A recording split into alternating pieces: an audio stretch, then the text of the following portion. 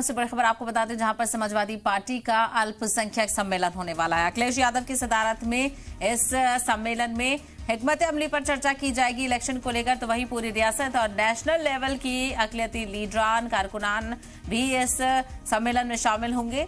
और senior Muslim MPs, MLAs, सबक MLA भी इस सम्मेलन में शामिल होंगे तो वहीं तर्जमान भी मौजूद रहेंगे। इजलास वाली जगह का नाम मुलायम नगर रखा गया है। तो मुलायम नगर नाम रखते हुए अल्पसंख्यक अल्पसंख्यक सम्मेलन होने वाला है, जिसकी सदारत समाजवादी पार्टी के लीडर अखिलेश यादव करने वाले हैं। और इस सम्मेलन में तमाम तर माइनॉरिटीज से ताल्लुक रखने वाले लीडरान भी शामिल होंगे। अल्पसंख्यक सम्मेलन इसका नाम दिया गया है। तो यानी कहीं ना कहीं अल्पसंख्यक समाज के लोगों को इस सम्मेलन में उनको लेकर किस तरह से तैयारी करनी है, किस तरह से उनको रागिब करना है, इसको लेकर चर्चा मुमकिन है। तो लखनऊ में ये सम्मेलन होने वाला है, इसको लेकर तैयारियाँ जोरों शोरों पर हैं। और आपको बता दें चले अखिलेश यादव इसकी सदारत करेंगे।